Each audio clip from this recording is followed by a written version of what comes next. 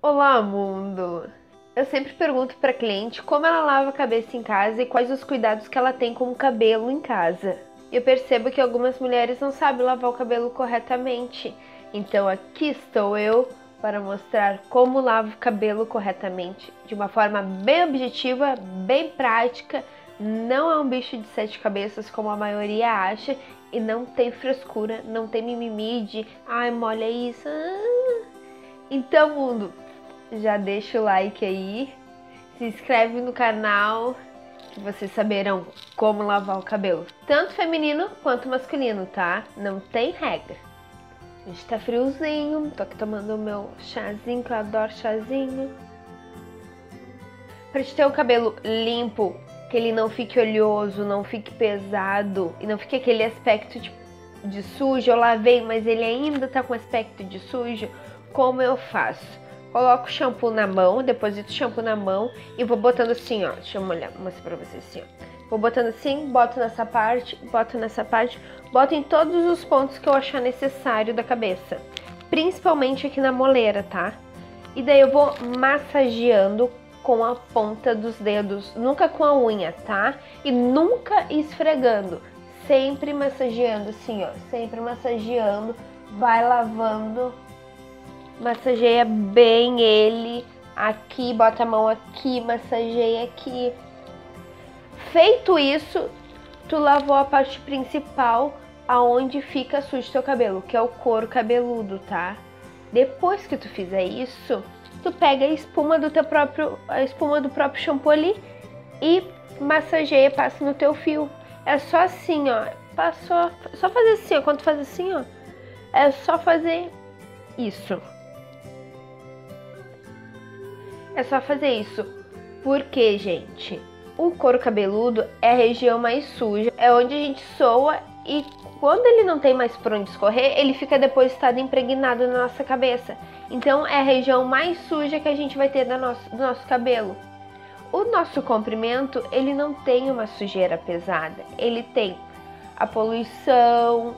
Ai, não acredito. Não tem o porquê de aplicar o shampoo na mão e botar direto aqui na cabeça, pegar o comprimento, todo o comprimento e fazer isso. Assim tu vai só vai entrar assim tu só vai colocar em atrito uma coisa que já tá limpa, não precisa.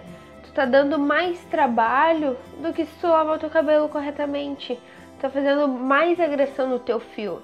Então muitas vezes o cabelo inosa o cabelo vai ficando ralinho no comprimento em função disso, porque tu tá agredindo toda vez que tu vai lavar ele, que tu faz isso aqui, que tu esfrega ele, isso machuca demais o cabelo. Então, às vezes a gente fala ah, por causa das mechas, é por causa da progressiva, ah, o corte não ficou legal. Então, tudo isso. Então, às vezes nem é isso, é só a forma de tu lavar o teu cabelo. Isso vale tanto para homem quanto para mulher. Condicionador é a mesma coisa. O, o, cabelo ele precisa de condicionador, tá? O condicionador é só botar um pouco na mão e aplicar no comprimento. Sempre abrindo, botando o comprimento assim, pega e depois só vai abrindo com os dedos. O excesso que tiver na mão, tu vai aplicando assim, ó. Tu vai fazendo assim, ó, com os dedos abertos. Ele vai condicionar o teu fio sem deixar ele pesado ou botar direto no couro cabeludo. O porquê que o cabelo precisa de condicionador, independente se ele é oleoso ou se ele é seco. O shampoo, quando tu compra um shampoo, ele tem as propriedades do shampoo. Ele vai fazer uma limpeza, ele vai abrir a cutícula do teu fio. Quando ele abrir a cutícula do teu fio, ele, a tua cutícula vai ficar toda exposta ali. Se tu não usar o condicionador e sair do banho, vai entrar mais sujeira naquela cutícula porque tu não fechou ela corretamente. Então aí que vem o condicionador. O condicionador também tem as propriedades quando tu compra ele, é onde ele vai condicionar. Ele vai entrar no teu fio ali naquela cutícula dele e vai selar a cutícula. O condicionador ele dá uma selada na tua cutícula. Ele condiciona o teu fio te dando brilho maciez. Então é muito importante, por mais que teu cabelo seja oleoso, bota só um pouquinho no comprimento, vai o de oleoso é o teu couro cabeludo. Tu sabe que tu não vai passar no teu couro cabeludo condicionador. O teu fio, ele é mais sensível, então ele precisa daquela placa ali para proteger ele. Então, mundo, eu espero que esse vídeo seja bem objetivo, porque a gente tá sempre na correria, o nosso dia a dia não tem frescura para lavar o cabelo, não tem uh, fórmula secreta para lavar o cabelo, e o nosso dia a dia ele requer que a gente economize tempo para coisas mais importantes. Então, essa forma de lavar o cabelo é a mais simples e a mais correta. Então, o shampoo foi feito para usar todo ele no couro cabeludo. Não dissolva ele em água nem nada, tá? Mesmo para passar no comprimento, a própria espuma já vai fazer aquele serviço. Então, espero que vocês tenham gostado do vídeo. Estou muito feliz de conseguir gravar esse vídeo, poder compartilhar com vocês um pouco da minha experiência como cabeleireira. E a partir desse vídeo eu vou fazer mais vídeos, eu vou fazer gradual. Eu não vou fazer uma coisa grandona se vocês não Tá. Tira essa parte.